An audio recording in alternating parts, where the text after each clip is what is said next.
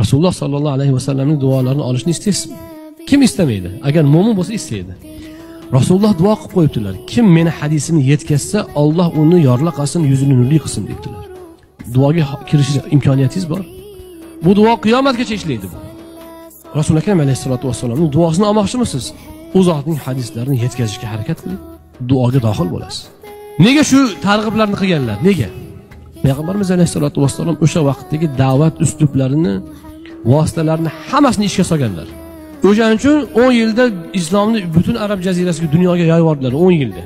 Biz hozir qo'shnimiz bexabar hozir bizni ilmiy suhbatlarimizda. Hmm, mana kun aytdimku mana hozir ham telefon bo'ldi mana hozir. Aniq bitta tanish telefon qilgan bo'ladi. Qarindosh telefon qilgan bo'ladi e, va hokazo nega shu desa chunki siz bilan biz hozir vositalar mana shundoq qulay bo'lishiga qaramasdan zaruratni his qilmaymiz mas'uliyatni his qilmaymiz.